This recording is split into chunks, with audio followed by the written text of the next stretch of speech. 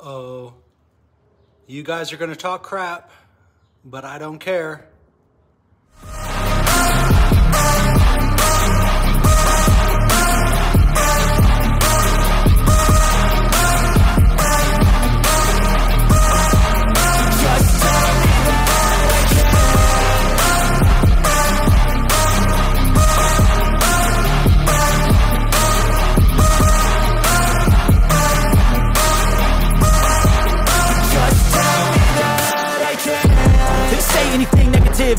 Wanna hear it out your mouth, yeah.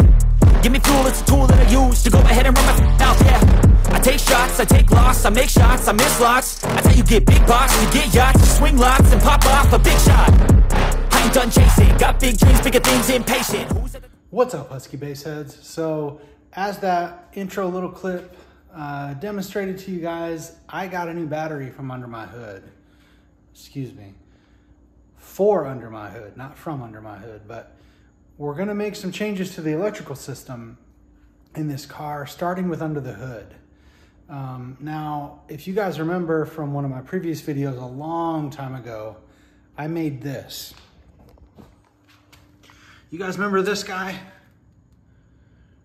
Right, the um, those Ioxus Supercap banks that I made. Well, this thing did a really good job. It was installed in my car for well over a year, did great. But I don't know, it doesn't seem to be holding a charge anymore. So let me show you. Let's see if I can get this done. Stick that right there. Okay, and then take this and hit the negative post. See, it's just sitting at not even five volts. I even put a charger on it. I hooked it up to another battery and tried to charge the battery to get this to like, anyway, I tried to charge this thing up, wouldn't hold a charge. Used to, I could run my whole car on just this. It would start my car, it would run it. I could use this as a battery as long as I wasn't running my system. And now it won't do that. I would even, I unhooked all the lithium and I left this in the car. Every morning I woke up, this was dead. So I don't know. You can see I've already dissected it a little bit, but you know, no visible damage to any of those cells, but I don't know. I think one of them's bad, but I don't know. Anyway, since we're going with the Headway cells, which is what we're gonna do, we're keeping with the Headway lithium, those can be run in conjunction, you know, in, in uh, parallel with AGM batteries, with your factory charging system. So that's what we're gonna do. We're gonna do an AGM, excuse me, under the hood and a Headway bank in the back.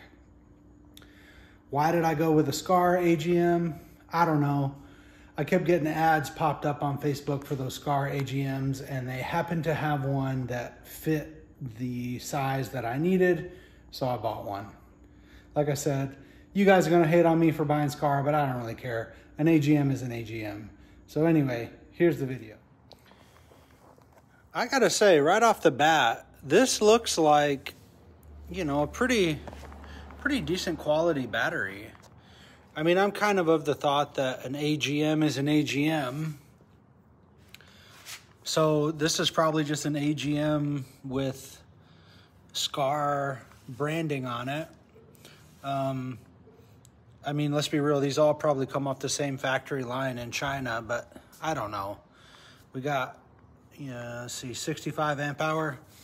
The packaging on this is really good, right? It came with in a box with foam packing in another box with more foam packing, right? Got a nice little spec sheet here. So, you know, right off the bat,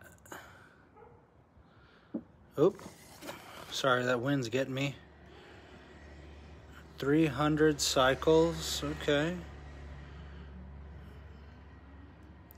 975 amps, max continuous discharge, okay.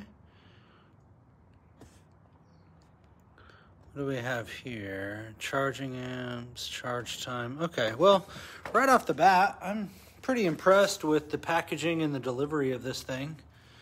Now, let's see see what we got here. Let's see, stick that in there.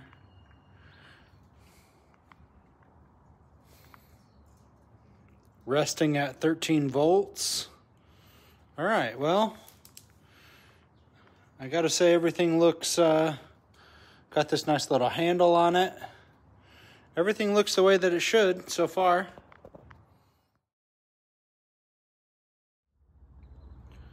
All right, well, that new Skar battery is all wired up. Looks pretty good. Fits in that space really nice. It's actually a little bit too short. So I ended up having to take some of the foam that was out of the box and rest the battery on the foam. You can see it right there. But looks good under there. And uh, I disconnected the fuses that are running to the back. So this is not hooked up to the lithium right now at all. The car is just running on this battery. And let's see. Resting voltage 12.8. All right, that's not bad. I mean, that's pretty appropriate resting voltage for an AGM battery. So, you know, it, it does what it's supposed to do. And here we are with that Skar AGM sitting at 14.65.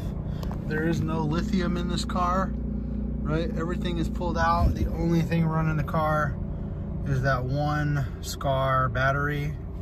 So seems to be doing pretty good. I mean, it, it does what I needed to do. It does what I expected it to do. So there you go. Yeah. Give me fuel, it's a tool that I use to go ahead and run my mouth, yeah. I take shots, I take loss, I make shots, I miss lots. That's how you get big box, you get yachts, you swing lots and pop off a big shot. I ain't done chasing, got big dreams, bigger things, impatient.